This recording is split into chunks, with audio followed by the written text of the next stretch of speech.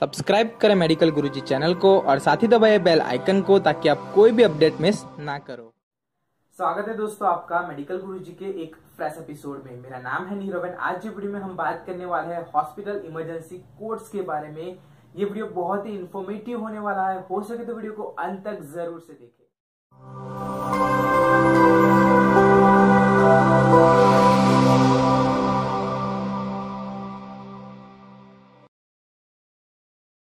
दोस्तों, हर एक हॉस्पिटल में सेफ्टी को कंसीडर करके कोड्स डिज़ाइन किए जाते हैं। तो हर एक हॉस्पिटल में इमरजेंसी कोड्स तो रहते ही रहते हैं। और आज ये वीडियो में मैं इमरजेंसी कोड्स के बारे में सारी इंफॉर्मेशन जो है वो आपके साथ शेयर करने वाला हूँ। As a customer as a patient आपको ये जानना बहुत ही ज़रूरी है, क्योंकि आप कभी भी हॉस्पिटल जा सकते हो। लेकिन यहाँ पे वीडियो शुरू करने से पहले अगर आप चैनल पे नए हो, वीडियो को पहली बार देख रहे हो तो नीचे जो लाल कलर का बटन है, उसे प्रेस करके चैनल को सब्सक्राइब कर दो। साथ ही दबाओ बेल आइकन को ताकि आप कोई भी अपडेट मिस ना करो। मैं every Tuesday, Thursday and Saturday नया वीडियो लेके आता रहता हूँ। आज का जो हमारा टॉपिक है, वो है इमरजेंसी कोर्ट्स यहाँ पे दोस्तों, इमरजेंसी कोड्स हर एक मल्टी स्पेशलिटी हॉस्पिटल में रहते ही रहते हैं। कोड एक्टिवेट करने की मेथड जो होती है, वो शायद हर एक हॉस्पिटल में डिफरेंट हो, मैं अपना खुद का एक्सपीरियंस शेयर करूँगा। जो मेरी पहली हॉस्पिटल थी, उसमें अगर कोड एक्टिवेट होता है तो लाउड स्पीकर में अनाउंस होता था। दूसरी हॉस्पिटल में हर एक जो एम्प्लॉय होता था, उसे कॉल आता था कि ये कोड एक्टिवेट हुआ है। तो एक्टिवेशन की मेथड अलग होती है, लेकिन जो भी मेथड होती है, वो जो साइन बोर्ड रहेगा, जब भी आप कोई हॉस्पिटल में जाओगे, आपको एक इमरजेंसी कोड्स का बोर्ड दिखेगा, उसमें लिखी होगी। अब यहाँ पे सबसे पहला जो कोड है वो है कोड ब्लू जो सबसे ज़्यादा इंपॉर्टेंट है जिसको सबसे ज़्यादा फोकस दिया जाता है जो है कोड ब्लू अब हॉस्पिटल अगर खुली है तो किस टाइप के पेशेंट्स आ रहे हैं वो प्रिडिक्ट नहीं कर सकते। पेशेंट कभी भी क्रैश हो सकता है उसे कभी भी कार्डियक अरेस्ट हो सकता है। चाहे वो आ, स्ट्रेस ईसीजी टेस्ट करवाने आया हो जिसका मतलब जिसे हम ट्रेडमिल टेस्ट कहते हैं जिसमें दौड़ना होता है अगर वो नॉर्मल आउट पेशेंट भी है, उसे भी कार्डियक अरेस्ट हो सकता है। हॉस्पिटल में ये होने के चांसेस होते हैं।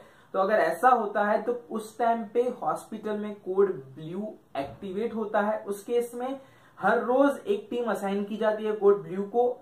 जिस टीम को असाइन किया गया है, वो टीम डेडिकेटेड किट के साथ जितना हो सके उतना जल्दी पेशेंट की तरफ़ दौड़ती है। जितना हो सके उतना जल्दी किट के साथ। तो ये सबसे इंपॉर्टेंट कोड है। दूसरा जो कोड है, वो है कोड येलो अब ये है एक्सटर्नल डिजास्टर के लिए। अगर हॉस्पिटल के आउटर एनवायरमेंट में कुछ ऐसी चीज़ हुई है, मानो आग लग गई है ब्लास्ट हुआ है, ऐसी कोई चीज़ हुई है तो कोड येलो एक्टिवेट होता है। उस टाइम पे मेजर रोल जो होता है, वो सिक्योरिटी का होता है कि वो पब्लिक को काम करे प्लस जो प्रॉब्लम हुआ है, उस पर भी फोकस करे। तो ये जो कोड येलो है, उसमें ज़्यादातर रोल होता है सिक्योरिटी का। अब उसके बाद जो कोड है, वो है कोड रेड। अब कोड रेड जो है, वो फायर के लिए होता है। अगर हॉस्पिटल प्रीमिसिस में कहीं पे आग लगती है तो उस केस में जो है, कोड रेड एक्टिवेट होता है।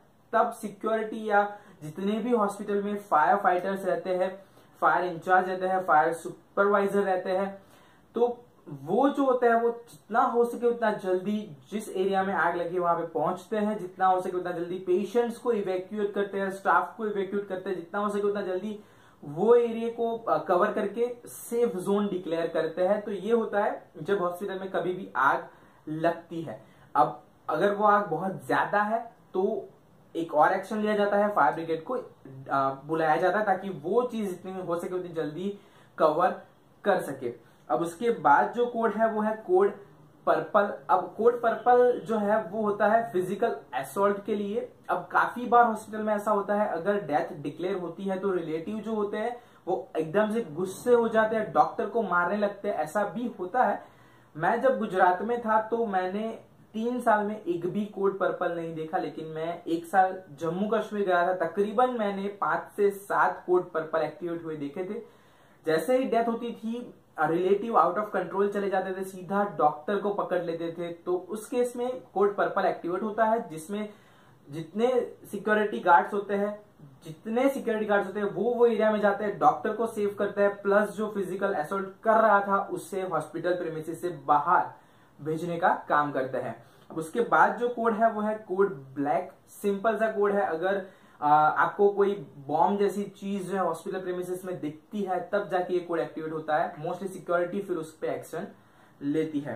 अब उसके बाद जो कोड है, वो है कोड पिंक अब कोड पिंक तब एक्टिवेट होता है जब किडनैपिंग हो रही हो कोई छोटे से बच्चे की।